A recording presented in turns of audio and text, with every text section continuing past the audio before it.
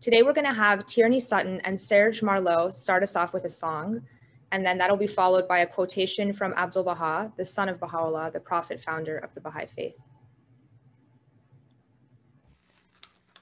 Hi, everybody. Uh, we're in um, Los Angeles, and uh, I wanted to share a song with you that maybe you've heard before. It's an old standard by Hoagy Carmichael and the lyricist Johnny Mercer, but it also has sort of a mystical meaning in that um, the idea of the skylark or the nightingale is an image of the great mystical teachers that teach us where God is. So if you listen to this lyric with that sensibility, it might give you a different kind of meaning. So this is Skylark.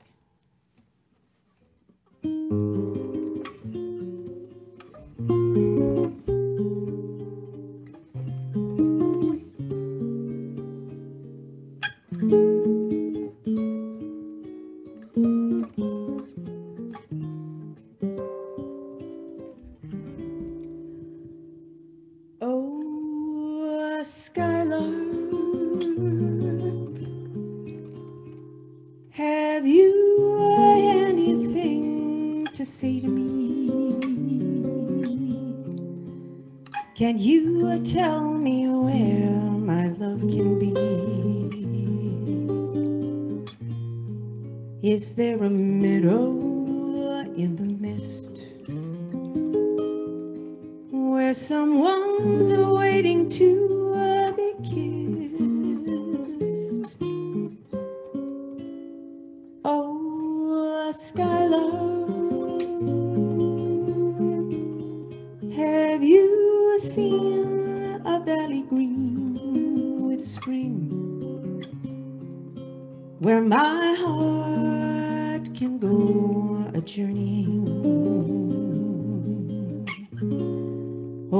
shadows and the rain to a blossom covered lane. And in your lonely flight haven't you heard the music in the night. Wonderful music faint as a will a loon, sad as a gypsy serenading the moon. Skylark. don't know if you can find these but my heart is riding on your wings. So if you see them anywhere, won't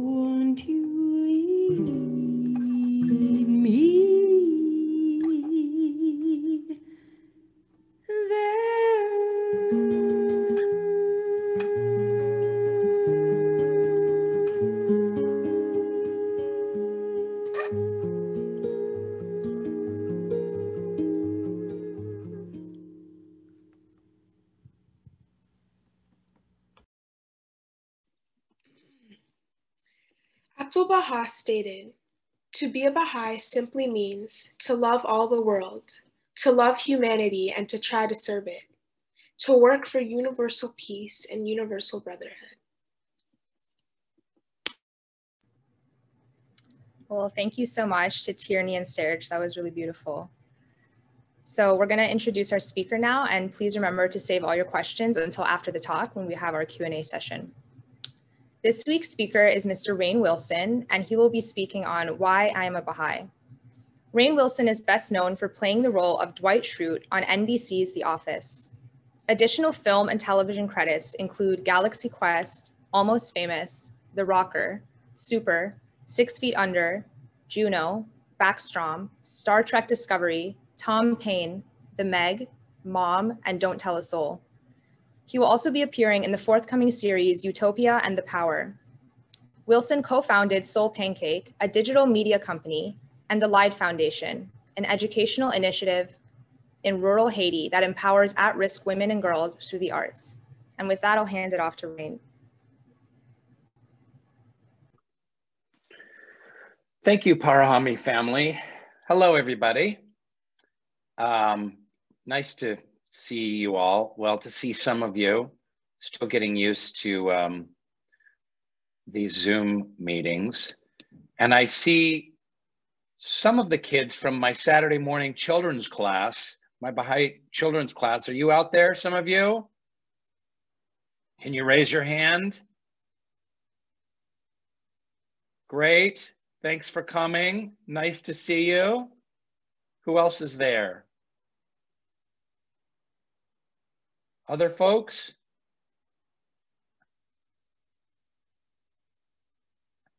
There's other people out there. I think they're being shy. Um, I'm putting them on the spot. So I invited my uh, children uh, from the children's class to come. So listen, I'm looking through the gallery and I'm seeing that there's a lot of Baha'is on here. Uh, that's wonderful. Welcome. Um, and there might be uh, folks that know a fair amount about the Baha'i faith. There's probably a lot of folks that know a lot more about the Baha'i faith than I do. And um, and then there might be some people who have no idea what this weird sounding religion is and um, and want to learn a little bit about it. So I'm mostly speaking to those folks today. Um, so let me start by just giving a, a, brief little rundown on what the Baha'i Faith is, a brief introduction, and then I'll go a little bit into my personal story. And like they said, the, the title of today's talk is Why I Am a Baha'i. And so I'm just going to speak uh, from my heart and from my story. I'm going to share some quotes. I'm going to haltingly and faultingly share my PowerPoint presentation. I'm terrible at PowerPoint and I don't know how to share it on Zoom very well, but I'm going to do my best. So pray for me. If they're Baha'is, pray for me that I use my PowerPoint effectively. Um, so the Baha'i faith is the newest of the world's religions and essentially believes that there is only one God and that all the different religious faiths essentially worship this one all knowing, all encompassing creative force in the universe. And that this one God, uh, in his infinite wisdom, has decided to educate humanity through sending down specially appointed divine teachers every once in a while, every 500,000 years in various point, points of the world. He sends down divine teachers bringing God's message to help humanity mature over time, eventually, um, uh, systematically. So these divine teachers, you've probably heard of a lot of them, um, going way, way back to Krishna and Abraham, and then moving forward a little bit to the Buddha and Jesus and Muhammad. And there's many more uh, throughout the world and they all essentially bring the same message. You might say, well, Buddhism and Islam are so different. How can they come from the same source? How can that be? But if you look at the essential message uh, of Muhammad or of the Buddha, it's one of selfless service to others, it's one of devotion, it's one of non attachment to the material world, uh, service to something larger than ourselves. Um, and humanity takes that uh, essential message from these teachers and kind of corrupts it in some ways, uses it culturally, um, and applies it culturally in the in the in the time and the place uh, that they live, and that's why it needs to be refreshed. This is an ever refreshing message from God, and Baha'is are believers in all of these world's religions. So if you've ever wondered, like, wow, I wish I could be a Christian and also believe in the Buddha, or I wish I could be a Christian and read the Bhagavad Gita, or I wish I could be Jewish and love the Quran. Well, this is a way to do that, to see them all as part of God's ongoing, continuous revelation As Baha'u'llah, the prophet founder of the Baha'i faith said, it's the ancient faith of God, eternal in the past, eternal in the future. So Baha'is believe that the newest of these divine teachers was named Baha'u'llah, went by the title Baha'u'llah, which means the glory of God. And that um, he lived in Persia, in Iran in the mid 19th century. Um, I'm not going to go a lot into the history, but he suffered tremendously, was banished, wrote hundreds and hundreds of books, some mystical in nature, some more kind of almost sociological, embracing the, the current world moment. And that's what Baha'is believe that the teachings of Baha'u'llah uh, are for this day and age. So with that, I'll get started. There's my nice graphic, courtesy of Microsoft. So a lot of my kids from my Saturday morning children's class are here. We've been having a really great time the last month or so. And I grew up a Baha'i. My parents became a Baha'i um, in the late 60s. And um, that's when I was born. And so I grew up into this milieu and I was taught all kinds of wonderful things about the Baha'i faith, about spirituality, about humanity.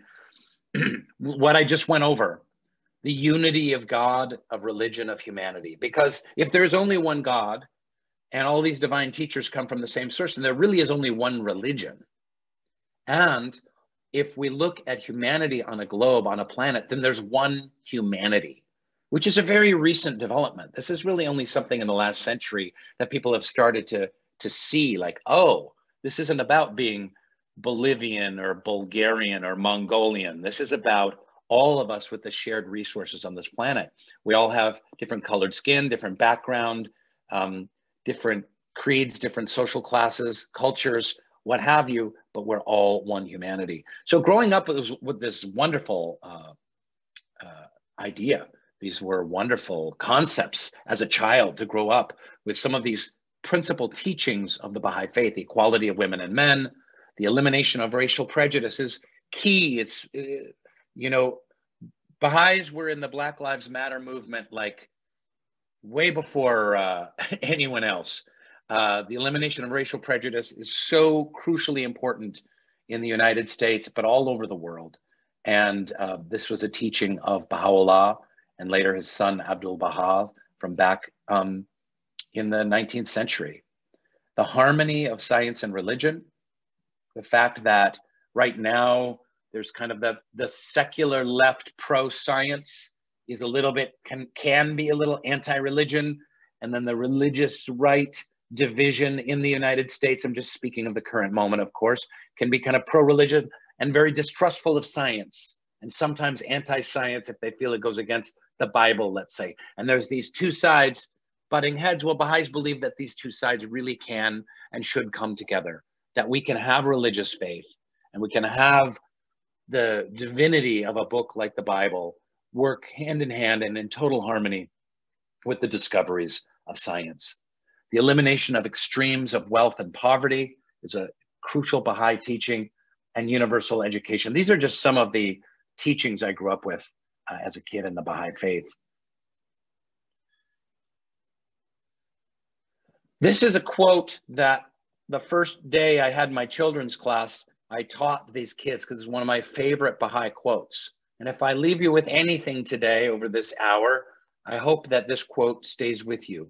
The betterment of the world can be accomplished through pure and goodly deeds and through commendable and seemly conduct. You know, it's, um, there's not a lot of hope these days, especially among young people. And this is one of the reasons why I think this quote is so important is it provides us with hope. A lot of people feel like the betterment of the world cannot be accomplished. That's true. They really believe that. They don't know if we'll be able to uh, fix racism. They don't know if we'll be able to fix climate change. They don't know if we'll ever be able to come together in unity or if we'll always be in division. A lot of people believe, well, men are essentially just animals and they're just at each other's throats and will never come together in harmony. Um, so there's a lot of pessimism out there, especially among young people. And here's Baha'u'llah saying 150 years ago, the betterment of the world can be accomplished through two things, and I'll go over my kids if you're listening, through pure and goodly deeds, right? So that's what you do, your deeds, and through commendable and seemly conduct, and how you do those deeds. It's not enough to do the deeds, um, to do good deeds, um, but to bring your character um, and your your courtesy and kindness and lovingness and open-heartedness as you're doing it, just like Lord Jesus did, just like Lord Buddha did, um, in their own way. So I talked a little bit about progressive revelation. This is, this is a handy dandy graphic I found for my beautiful slideshow, courtesy of BahaiTeachings.org. Shows the kind of like the rays of the sun from one God, all of these divine teachers coming down. Um, why do I have this ridiculous graphic? Because it reminds me of my father, who was a Baha'i, and he was a great Baha'i teacher, and he passed away recently this last year of heart disease. Um, and because we were always including people of all different faiths in our home and in our discussions, if Jehovah's Witnesses or Mormons or whomever would knock on the door, my dad would invite them in and we would read the Bible together. And I remember as a kid one time, he invited some folks in and they, he said, um, he said, hey, what do you guys think about uh, the kingdom of God on earth? And uh, how does that work? And they said, well, there's going to be a great rumbling and thunder, and the sky is going to split open, and this beautiful city of silver and gold is going to descend from above. And um, on it are going to be the angels, and then all the saved people will go up on the kingdom and it'll float away. Jesus will be there with horns and trumpets and whatnot, and it'll float away. And that's the, how the kingdom of God is going to work. And they said, What do Baha'is believe about the kingdom of God on earth? And my dad said, well, it's similar. You know, there's thunder and lightning, and the sky is going to split open. And then down from the sky is going to come um, some bags of cement, some shovels, uh, sand, nails, staples, flashing. And down from the sky will float this single piece of paper, and it'll say, Kingdom of God on earth, build it yourself kit. And so this is how Baha'is see uh, the kingdom of God on earth. Um, uh, not a bunch of white catalog models standing around in hard hats in a, in a graphic that I pulled off of the internet in 20 seconds, but people getting together and working at it and working hand in hand and side by side. Um, so to continue on in my life story of why I am a Baha'i, this was a wonderful upbringing. And then I um, decided to, long story short, I decided to become an actor. I auditioned for acting schools when I was in college, and I went off to New York City in the late 80s to study acting.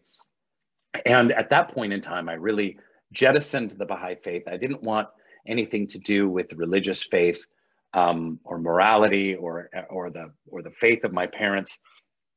I wanted to make my own way in the big city and be an artist.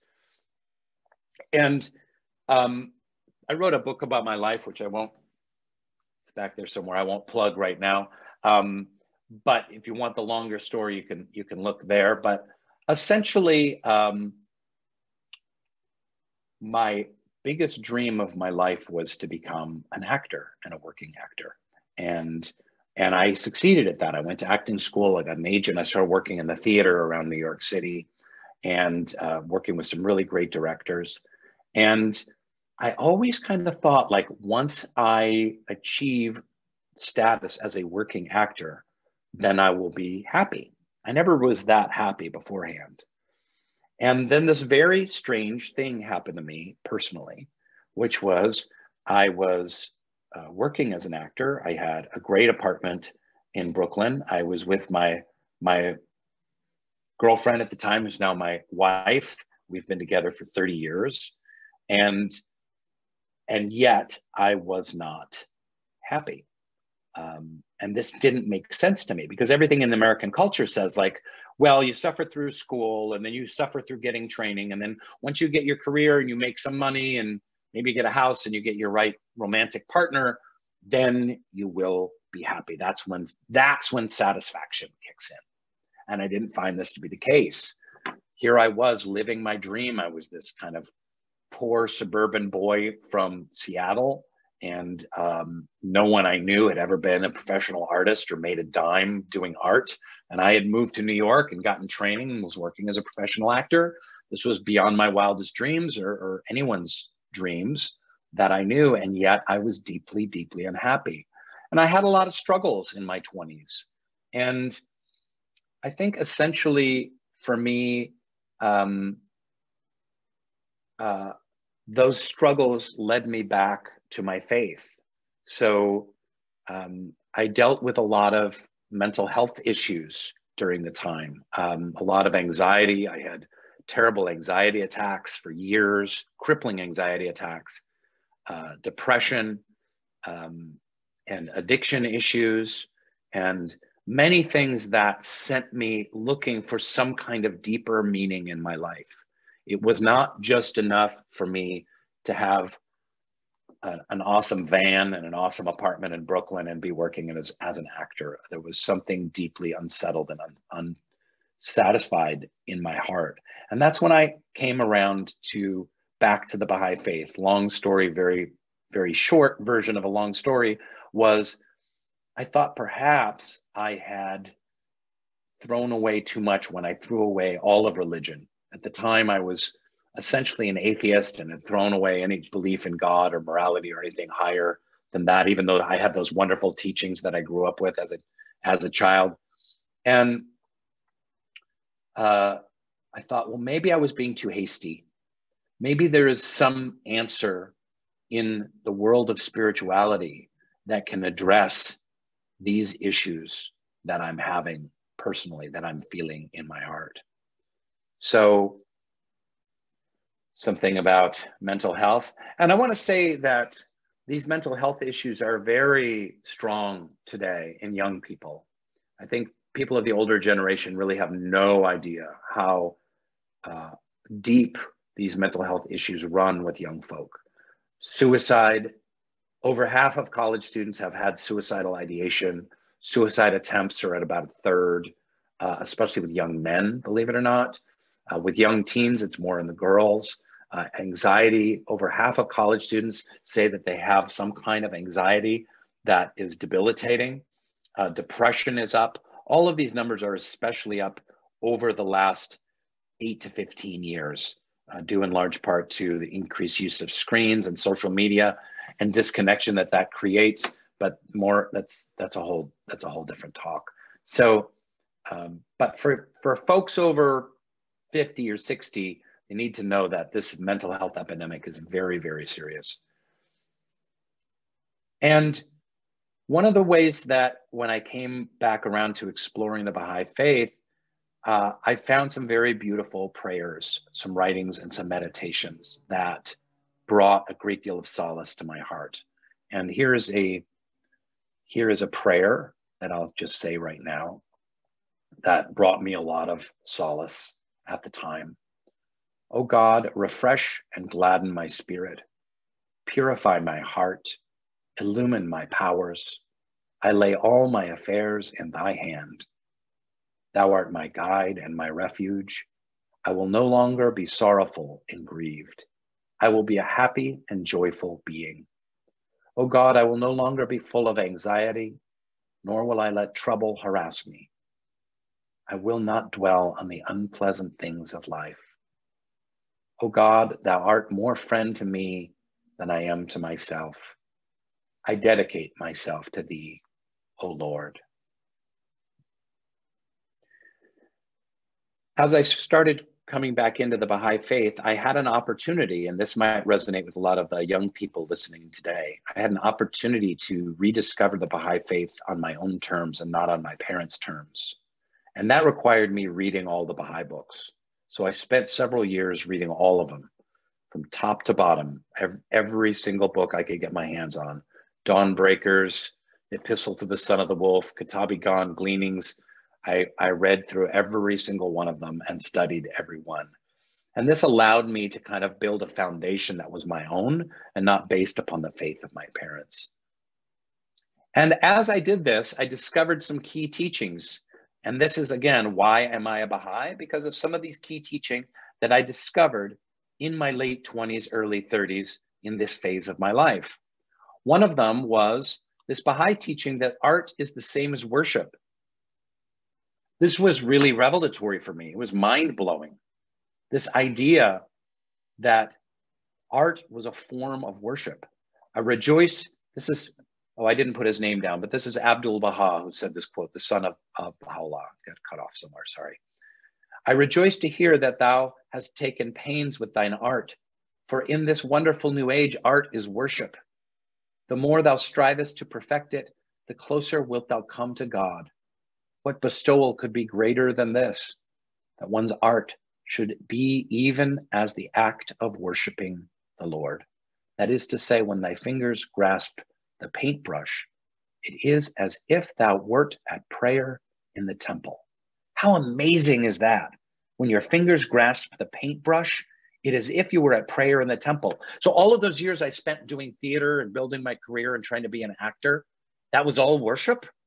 This is a bestowal from Baha'u'llah for this new revelation, for this new spiritual springtime of humanity, is that art is the same as worship. Now I could do a whole talk on art as worship. There's it's something that really fires me up. And there's a number of incredible ideas behind that. Uh, first and foremost, that God is the creator, and that as we create, we create a pot, a painting, a poem, a dance, a song, a play, that we're emulating that divine impulse to create something beautiful. So this really resonated with me and said, Oh, I don't to become a Baha'i or to be spiritual, I don't need to leave my art. As a matter of fact, I need to dive into my art even more and recognize my art as worship. Art is also service. As we heard Tierney and Serge play that beautiful song this morning, and it calmed our hearts and it soothed us and it opened our hearts and it brought up memories and we were touched by the sweetness and beauty of the song. It's a beautiful service to create art as well. The other aspect uh, was the independent investigation of truth, which um, was a very key concept in the Baha'i faith that I didn't bring up previously. And uh, this is a, one of the key pillar teachings of the Baha'i faith that we need to find the truth for ourselves. And that's what I had done. I had gone, you know, on this journey. I had mental health struggles. I had great difficulties. Uh, I was very unhappy, but I came back to the Baha'i faith, found the truth for myself, and that Baha'u'llah writes about the importance of every person finding the truth for themselves. This might sound obvious in this day and age. Well, duh, find the truth for yourself, you know. But in the 19th century, this was a revolutionary concept. Even in the 1950s, this was a revolutionary concept. It was always accepted that you had, you took on the truth of your parents. If your parents went to that synagogue, you went to that synagogue. If your parents went to that church, you went to that church. If they went to that mosque, you went to that mosque. If your grandfather was a cobbler and your father was a cobbler, then you were going to be a cobbler. It wasn't any kind of like, I'm going to take a gap year and I'm going to go kayaking and try meditation for a while. And this whole idea was a completely foreign concept up until 30, 40, 50 years ago. So but I realized that this was a spiritual journey that I was on that was essentially okayed by Baha'u'llah. It was uh, included in the key spiritual writings of the Baha'i faith. I'm going to just say a few more things and then we can take some questions. Why am I Baha'i? There's a series of books called the Ruhi books that are wonderful study guides to the Baha'i faith. Um, and uh, there's, boy, there's like 11, 13 of them now. There's a lot of, a lot of these books uh, to study and you can learn a great deal. You can find Baha'is in your community to to study these books. But book five is about teaching youth classes. And it goes into this concept at the beginning, and it really kind of blew my mind. It's it's pretty simple. It's pretty obvious when you look at it, but when you study it, um, at least when I studied it, um, I found it to be incredibly enlightening and exciting. And I had never really thought about one's spiritual path being containing a twofold moral purpose before. So we talked about art the same as worship. We talked about the independent investigation of truth. And then this idea that we, when teaching youth, working with young people, we stress this idea of a twofold moral purpose. What does that mean? Well, on one hand, it's a personal, I put here my own words, personal path towards perfection of spiritual virtues, AKA enlightenment. And when most people think of spirituality, this is what they think of. I go to my yoga class, and my yoga teacher has beautiful sayings by the Buddha, and we meditate, and it makes me feel really good. When I meditate outside in the trees, I feel really connected to the universe. And um, this is my working on one's own inner garden. You know, um, in the Baha'i context, we look at it a little bit differently, similar, but there's a different thing to throw in there, and that's spiritual virtues. So for the Baha'is, uh, the the culmination, no, the contribution, the what is it? Cultivation, cultivation of spiritual virtues is one of the key meanings of why we're here. So, long story short, God has all these incredible virtues kindness, love, grace, power, patience, honesty, and all of those virtues of the divine are the virtues that we need to cultivate in ourselves, that we need to work on in ourselves. It's hard, it sucks. There's a lot for all of us that come really easy. Like for my wife, she's very empathetic, very compassionate person. For me, I'm extremely impatient. I can I patience, I, I have to work so hard to be patient with myself, with others. It, it, it's killing me, but I'm trying my best to cultivate that virtue of patience. So, on the other hand of the twofold moral purpose is the external, uh, is the looking outward. And this is this part of the spiritual path that is not spoken about too much in contemporary America, either in contemporary Christian churches, even though Jesus exemplified this to a T, or in the kind of like new age potpourri um, grab bag of spirituality that can be found on meditation apps or yoga classes or inspiring quotes on Instagram. And that is selfless service to humanity. So, this outward orientation, that part of our moral purpose, part of our spiritual purpose, part of our spiritual path is to serve others. And this includes social justice, working for great social justice, whatever that means to you, to make the world more just and equitable. And also, it means community building, especially at the grassroots. Um, building community, well, we can go into that later. But so these two forces are at work in all of us. And for me, this really resonated. It all of a sudden kind of something really clicked in me like, oh, I can do both of these things. I can pray and meditate and work on my virtues. I can connect with the divine. I can um, find that mystical union with both Baha'u'llah, with the prophets and messages of the past. I have my own personal uh, spiritual garden that I'm tending. And I also can try and make the world a better place. And that is part of my moral and spiritual purpose.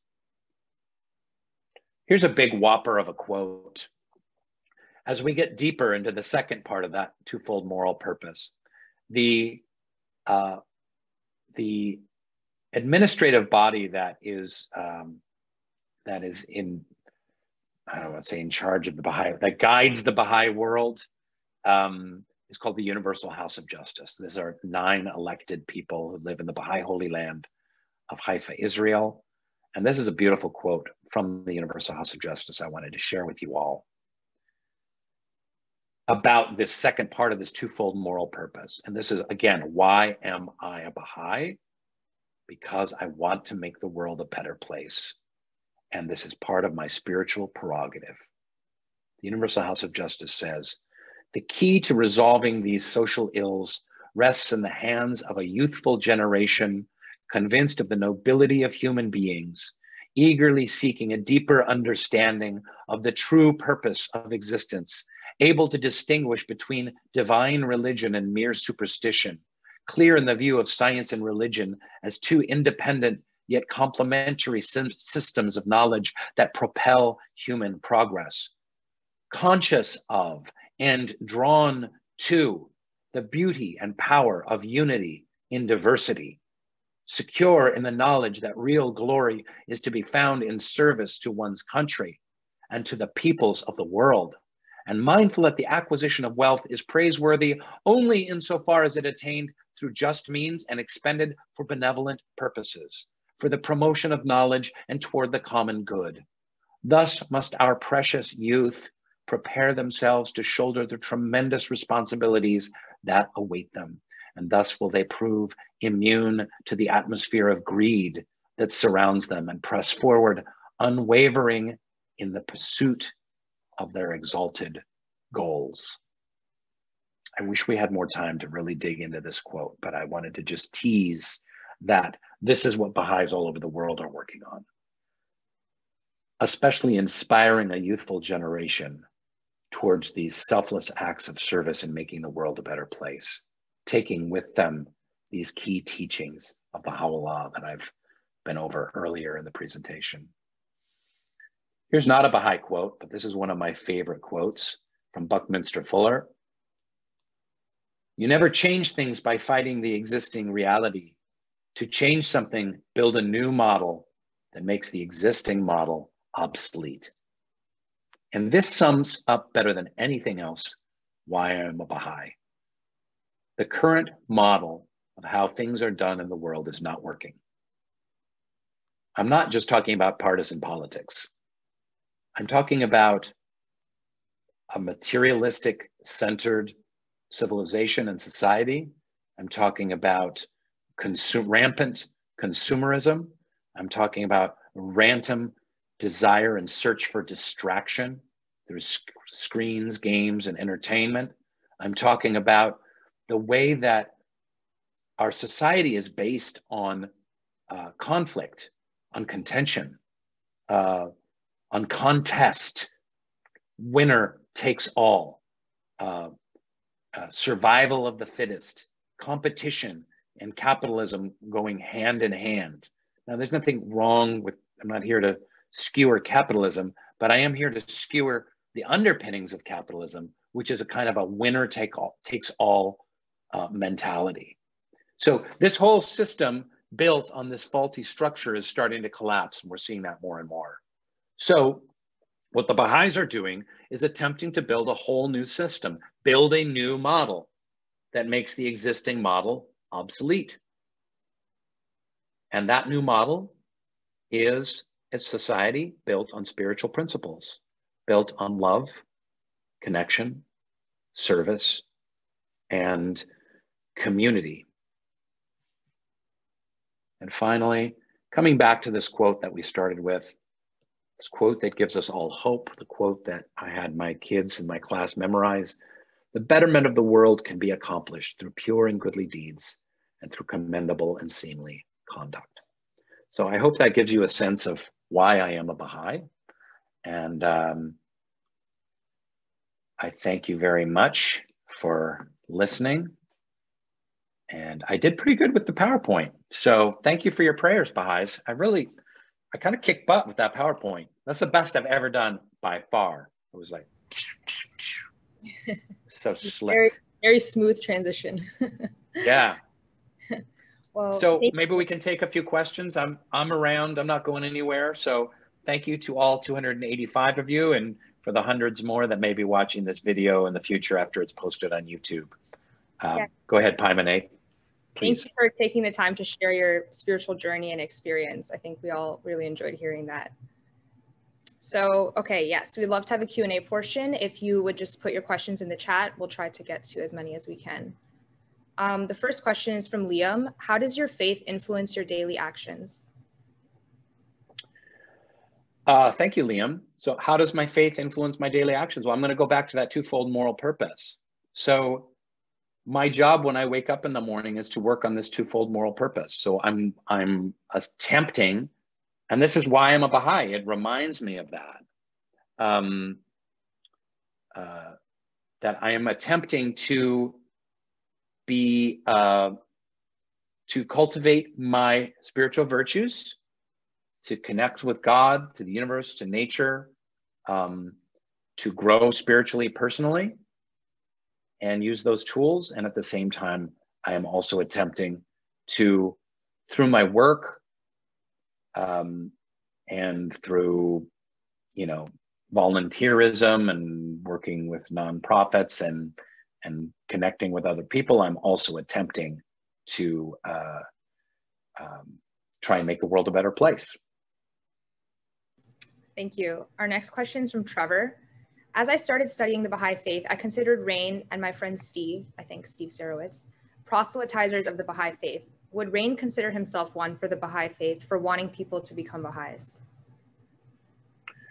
Um, thanks. Yes. Uh, so proselytizing is an interesting word because Baha'is are forbidden to proselytize. So hopefully I'm not proselytizing or seen as a proselytizer from its dictionary definition, which is um, an attempt to kind of convince and coerce someone uh, toward a belief. So Baha'is are not allowed to proselytize. Um, like, for instance, this Zoom, we send out an invite. If people want to come to the Zoom and listen, then they're being, want to learn more about the Baha'i faith or about people's spiritual journeys, that's fine. But that's a little different than me like going and grabbing people and trying to convert them attempt. And and by the way this whole meeting right here is not an attempt to convert. If people want to become baha'is fabulous wonderful. Join us in building this new spiritually grounded community building oriented civilization based on spiritual principles. You're welcome. We'd love to have you or learn more about it. Um, or keep your own beliefs whatever they are atheist jewish muslim christian and work with us because we need people of all different beliefs to work together to build better, stronger communities based on love. So it's not about necessarily becoming a Baha'i. Our next question is from Layli. Um, she says, Hi, Rainn. I resonate with your story and I'm on the same path. My question is about your marriage. When you met your wife, was she a Baha'i? Did she become a Baha'i? What was it like rediscovering your faith while in a relationship? And how does the Baha'i faith influence your marriage? Thank you. Um, thanks. Yeah, great question. So when my wife and I got together, we weren't Baha'is, and um, uh, we were boyfriend girlfriend. And then I started having these struggles, and then started looking into religious faith, and that's when I got more involved in the Baha'i faith. So my my wife was like, "What is this? This is weird." Like Baha'is do a fast in March where it's similar to Ramadan. We don't eat or drink from sunup to sundown over the course of 19 days. And one year I decided to do the fast. And my wife was like, What is going on? Is my husband joining some weird culty thing? What's happening here? And uh, it took her many years, but uh, about you know six or seven years later, she became a Baha'i herself. She was always interested in the spiritual path and um, and in learning about and and one half of her family is Jewish, one half of her family is Christian. So she was always a little torn between the two sides, loved both sides, loved both traditions, and found that the Baha'i faith was a, a beautiful way to honor her Jewish faith, her Christian faith, and now a forward looking Baha'i faith. Thank you. Our next question is from Shelby. How will you handle the independent investigation of truth with your own kid? Yeah, thanks. Good question. Boy, whew.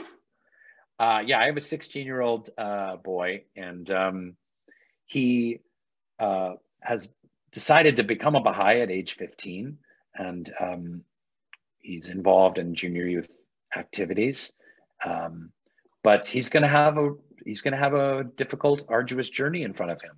There's a lot of incredible temptations out there. And I'm not talking about temptations like sex and drugs and rock and roll, although those are very real, but you know, a temptation to forego spirituality and a spiritual path, kind of like what I did, to just focus on career, focus on making money, or focus on gaining status, or just on dating and relationships, or or kind of mindless distraction. Um, the the there's a greed that was referenced in the letter by the Universal House of Justice and um, the greed and materialism that's out there is uh, is quite daunting. So we try and educate my son around spiritual ideas and spiritual virtues, um, arm him with all of these different tools uh, to try and make himself a better person and try and make the world a better place. But then he's on his own, and then he's going to go on his own journey wherever that takes him, and um, and we'll pray for him. And he's going to have, I he's going to have ups and downs. He's going to have tremendous trials and tremendous heartbreak because all of us are. That's kind of the point of life, and that's part of the journey. Thank you. Um, I'm going to combine a couple similar questions. So Ashley says, how do you become a Baha'i? I was raised in a Southern Baptist setting and it never felt right. This presentation just clicks with my soul. And then Jessica says, how can I find people practicing the Baha'i faith in my area? Wow, great questions. Um, uh, I don't know. I think you can go to Baha'i.org and there's probably a thing you that's a, the official Baha'i website. It's a wonderful website. It did a great job and it has uh, wonderful quotes and writings and teachings. And if you want to learn more about history and uh, you can kind of go on that journey. There's also uh, maybe we can put it in the in the text chat here. Um, one eight hundred 22 Unite, 1 800 22 Unite. Can I chat on here? How do I do that? There it is. Send chat to everyone. 1 800 22 Unite um, will connect you with Baha'is in your area. Or if you're in a town, just Google like Birmingham, Alabama Baha'i community. A lot of Baha'is have websites and you can write to the Baha'is there. So, um, and check out Baha'i.org. Uh, and then BahaiTeachings.org is good too. And they, they have a, you can fill out a form there. And there's lots of great articles and information there. Thanks for inquiring. Thank you. Um, Patty asks, does the Baha'i faith have a place of worship where they meet on a regular basis? Uh, great question. So Baha'is don't have like churches or mosques. Um, uh, or temples or anything like that. Um, there are some communities have a, like a local Baha'i center. Like if you're in Houston, they've like rented a building and it's the Baha'i center. And sometimes they'll have gatherings there, obviously pre and post COVID. Um, but a lot of Baha'i gatherings just take place in the home or in local community centers or rented halls or what have you. Um, there are these Baha'i, wonderful Baha'i houses of worship uh, all over the planet. Um, that are really gorgeous and we're building more of them. But they're, again, they're not for Baha'is, they're for people of all um, of all faiths to come together and to worship and to help build community. Thank you. Um, Mary Ellen asks, how do you talk about becoming a Baha'i with a devout Catholic family? Any advice for having courage to follow what you feel called to change religion? Um, Boy, that's a great question. Uh, yeah. There's a lot of resources on the web around that. In fact, there was a quote I was going to use today. I wonder if I can find it. Um, Abdul Baha says, um, this is a way of looking at um, talking to Roman Catholic family. Um, if we are lovers of the light, we adore it in whatever lamp it may become manifest. But if we love the lamp itself, and the light is transferred to another lamp, we'll neither accept nor sanction it. Therefore, we must follow and adore the virtues revealed in the messengers of God. We must not adhere and adore the lamp. We must recognize the sun, no matter from what dawning point it may shine forth. So I love this idea that the light of God was contained in Lord Jesus, the Son of God. And the Bible and the Christian way was the spiritual way forward for humanity. And people like to kind of harsh on Christianity a lot and Catholicism a lot, and certainly a lot of evils were done in the, in its name. But there was tremendous good that also came out of Christianity. Um, it was the first time that people of all different classes, creeds, social classes, races, genders uh, came together under one umbrella, under one tent.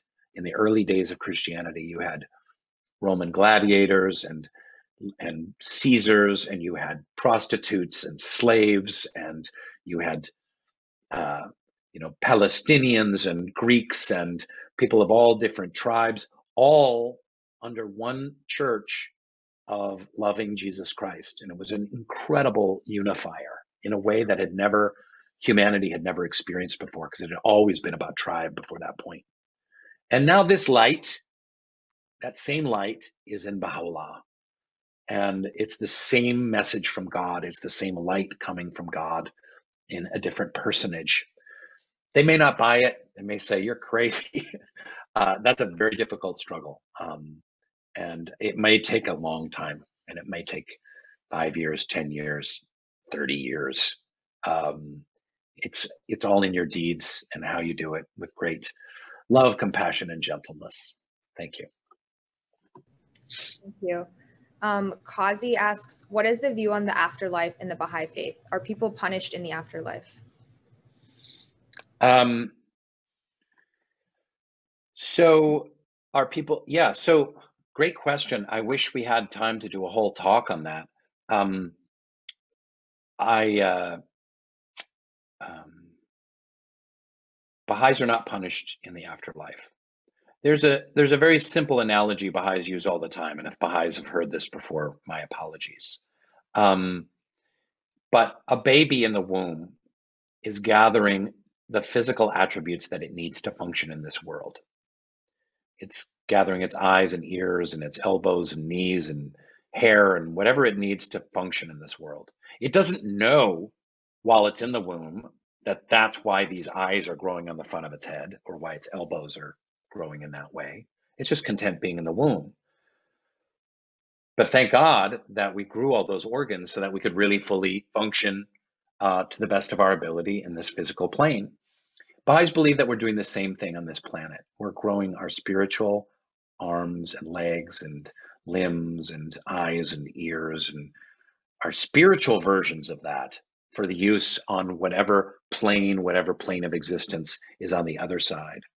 Um, and uh, so these uh, spiritual are the are the virtues. These are the virtues. Um, they are um, uh, patience, kindness, humility, compassion, love, empathy. That's what we're growing in this world, and that's what we take to the next world. So there isn't a heaven and hell in the Baha'i faith. There's simply taking our spiritual qualities. We leave our earthly qualities. I'll leave my house and I'll leave my Trader Joe's raisin bran, and uh, I'll just go to the next world, only bringing whatever spiritual qualities I have been able to cultivate in this plane and I better work harder on the patience one because otherwise I'll be kind of crippled. Forgive the word, I don't mean it in an ableist terminology, but I will be a detriment to me to not have patience in the next world. So my job is to grow my patience in this world.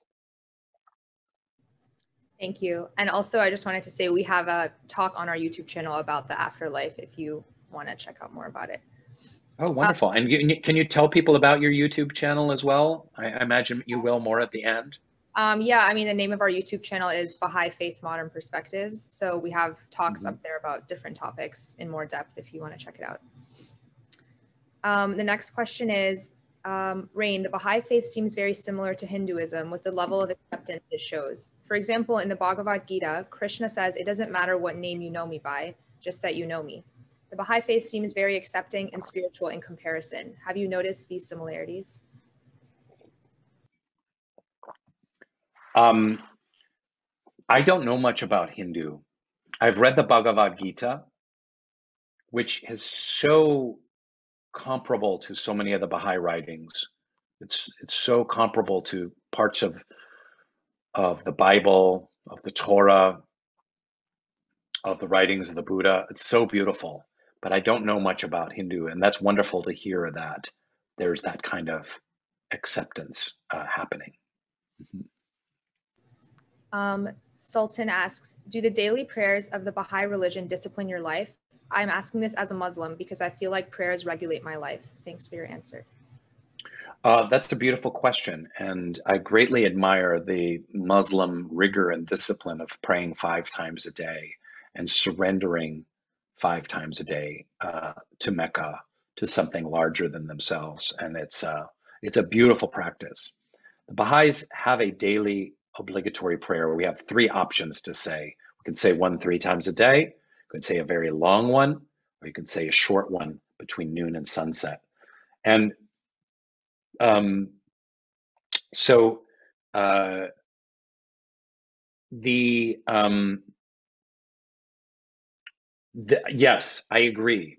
Baha'is also pray, also read holy writings in the morning and in the evening um, of the writings of Baha'u'llah as well. But this Baha'i obligatory prayer is very short. It's only two sentences long. Maybe it's three. And it goes, I bear witness, O my God, that thou hast created me to know thee and to worship thee. I testify at this moment to my powerlessness and to thy might, to my poverty and to thy wealth, that there is none other God but thee, the help in peril, the self subsisting. So we say this prayer that does, just like Sultan said, it refocuses us. We were created to know and worship God. That's what, now, what does that mean to know and worship God? That's very complicated. It doesn't mean to just study about God and, and to pray to God, but to know and worship God, like I said, the creation of art is worship. So I was created to create art because that's worship. Service is worship in the Baha'i faith. The highest form of worship is service in the eyes of God, says Abdul Baha. So knowing God, and in the Quran it says too, to know God is to know thyself. So the more we learn about ourselves, the more we're learning about God. So this goes hand in hand. And there's a lot of questions coming up on the Baha'i view and the LGBTQIA plus community. So that's a very um, that's a very challenging subject, and I'll just be really direct that Baha'is love and accept everyone. We don't believe that there's any kind of hell whatsoever or fiery punishment awaiting anyone on the other side. We don't even look at like sin in any kind of remotely similar way to Islam and Christianity. Christianity. Um, that our moral teachings are there to guide us and help us grow closer to God. All this being said, there's very, very little written in the Baha'i faith about homosexuality. Um, uh, and it's it's a long and difficult conversation because we live in a society right now that says basically what is the Baha'i writing? The Baha'i writing is that um, that uh, sex is for a married man and woman. That's the laws that we have in the Baha'i faith. Sex is for a married man and woman. You can interpret that however you want. Um, these moral teachings come from Baha'u'llah as a guideline for us. And so uh, this is something that a lot of Baha'is struggle with, that I struggle with. Some of my, sounds cliche, but so many of my best friends are uh, uh, you know LGBTQ communities. My son's godfather is. Um, there's great acceptance and love um, of people of different uh, sexualities, sexual preferences, and uh, Baha'is everywhere fight for social justice. So one of the things you will always see with the Baha'i faith is if anyone in the LGBTQ community is being subjugated in any way Baha'is will be at the forefront of standing up for their rights and fighting for their rights to be who they choose to be and who they want to be. We don't want to see any community subjugated whatsoever. But ultimately, at the end of the day, all of these decisions are between you and between God, and um, and require great kind of patience, love, um, connection, surrender, and uh, Baha'is withhold judgment around any of this stuff. Um, so uh, it's a it's a tricky conversation because again, I said like in contemporary society, it's like you're either anti or you're totally for. And I would say Baha'is are for. However, we have this moral teaching that was given to us by Baha'u'llah, we believe is divine about sex between a married man and a married woman. So this is a lot of Baha'is struggle with. And thank you for your questions on that. Thank you. Mm-hmm. Um, this question is about the chart of succession of prophets beginning with Abraham. What about humanity prior to the appearance of the Christian faith? Wait, repeat that again?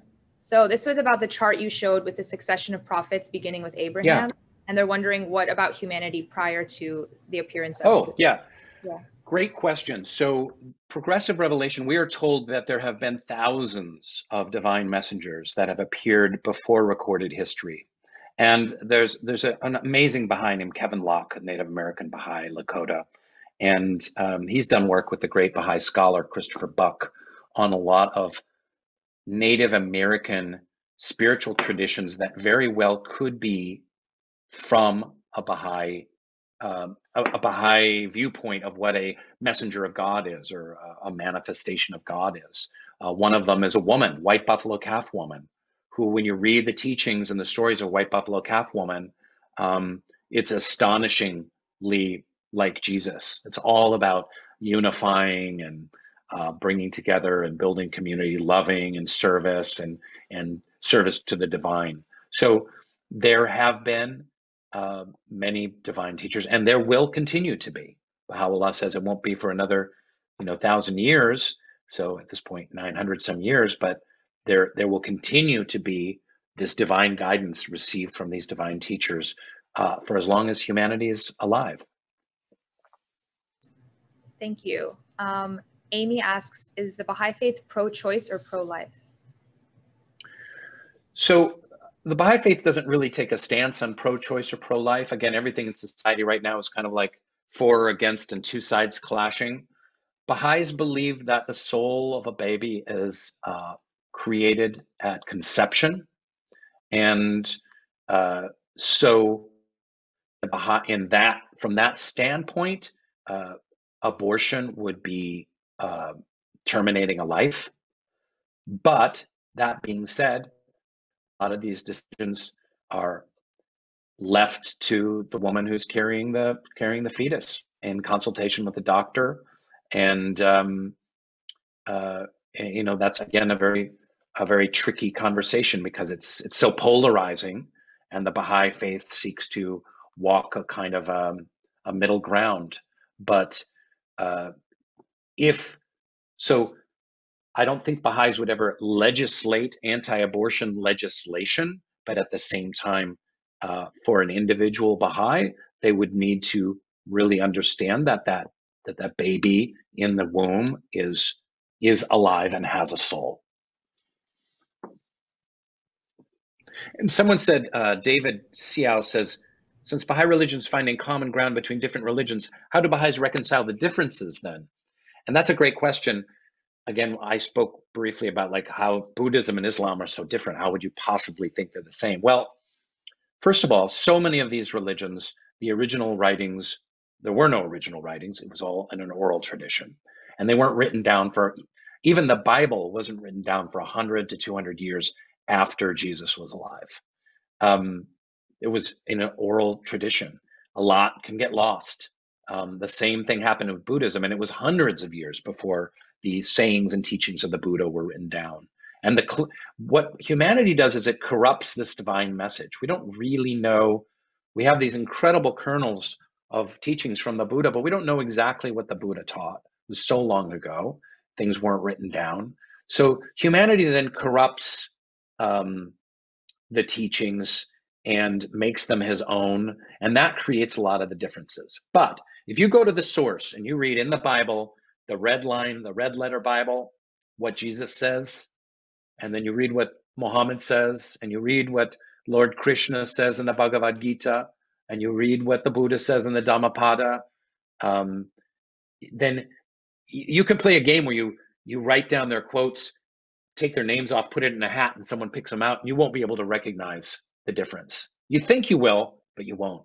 It's a it's a really fun and remarkable game. So the essential truths are there in all of the world's faiths, and societally differences have arisen in the hundreds of years since the manifestation of that divine teacher.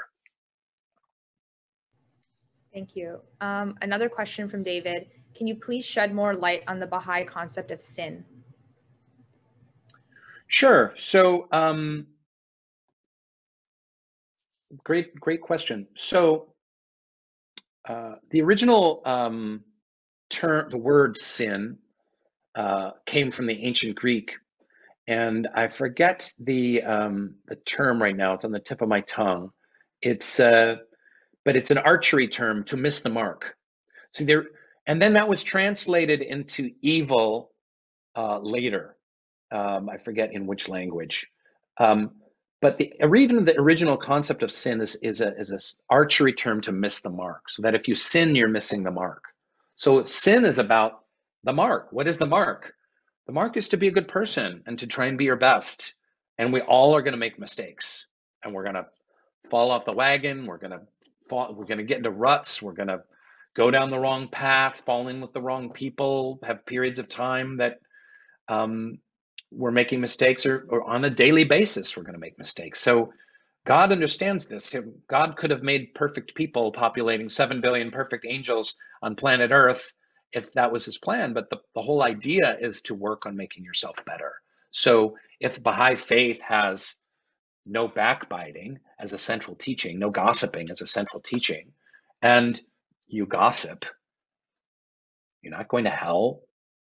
Um, you're you're not doing your soul's growth any favors by gossiping or backbiting. In fact, you're hurting the development of your soul by doing that. I'm looking at you, Baha'is. Um, and uh, but we keep working at it and we've missed the mark with backbiting with gossiping and then we continue to work at it and that's that's how sin works thank you. Um, i think there was a question just asking when you became a baha'i so maybe if you wanted to go into more depth about that. Um what what is it? When did you become a baha'i? Um i became a baha'i twice. I'm a born again baha'i. I when when a Baha'i when a when a youth is 15 years old, they can decide to become a Baha'i. In which case, you sign a card. The only reason you sign a card is so that you can donate to the Baha'i Fund because we don't accept money from outside sources, and so that you can be on the voting rolls and we can vote for our local administrative bodies. So I became a Baha'i at 15, left the faith when I was about 20, um, 21, and then came back in in my early 30s, 32, 33 so it was kind of a twofold process for me. So um, uh, by the time I started the office in uh, 2004, I had been practicing the Baha'i faith again for about five years at that point. So maybe we should wrap it up. This is a good this is a good amount of time. Okay. Uh, what what can I have something to share with people. Can I can I say something? Sure. I'm going to be doing some talks for uh, Baha'i Chat, um, and I've got one coming up.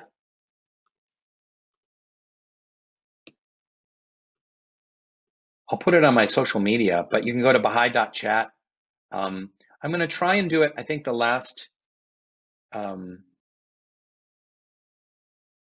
Wait, Saturday? I thought I was doing it on a Sunday. Oh, okay. Well, I guess it's a Saturday. Um, Saturday, February 28th at 8 p.m. Eastern. Uh, you can register at Baha'i.chat. I'm doing another talk. So thank you. Great. Someone said it's a Sunday, that date. So Yes, it is.